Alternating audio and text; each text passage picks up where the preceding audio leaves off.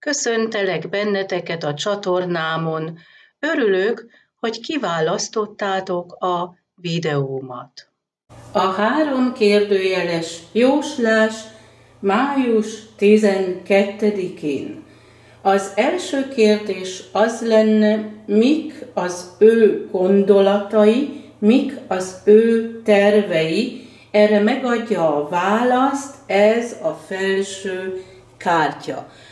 Ez a nulla szám azt jelenti, hogy neki vannak tervei, de ő még nem tesz lépéseket.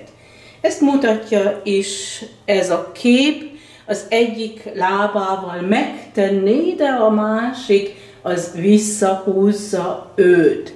Nem tudja, hogy milyen irányban fognak történni az események. A második kérdés pedig az lenne, milyenek az ő érzelmei, mi bepillantunk most az ő érzelmi világába. Ezt mutatja ez a kép. Ez az elefánt, ez a nehézségekre utal, viszont ez a hölgy mutatja, mennyire fontos a belső nyugalom. Ne túl sokat, de ne is keveset.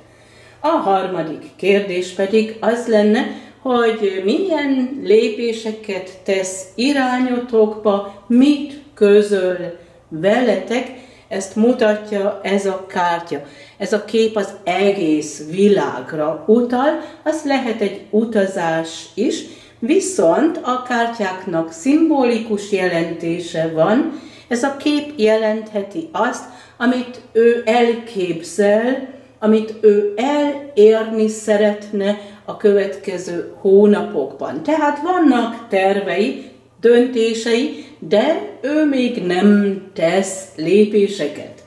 A napi kártya, der Anker, ez most így németül jutott eszembe, nem is tudom, hogy mm, nevezik ezt magyarul, de látjátok a képen, hogy miről van szó, neki az az igénye, de nektek is, hogy végre oda eljussatok, ahova szeretnétek. Ez a kép szimbolizálja a munkát is, bizonyára az is foglalkoztatja őt. Ez volt a három kérdőjeles jóslásom, egy általános jóslás, viszont megvan arra lehetőség, hogy egy személyes jóslást rendeljetek nálam, a díjam 3500 forint. Én készítek egy videót név nélkül, és ha elkészült, akkor megkapjátok a linket hozzá e-mailen keresztül. Köszönöm figyelmeteket, viszont hallásra!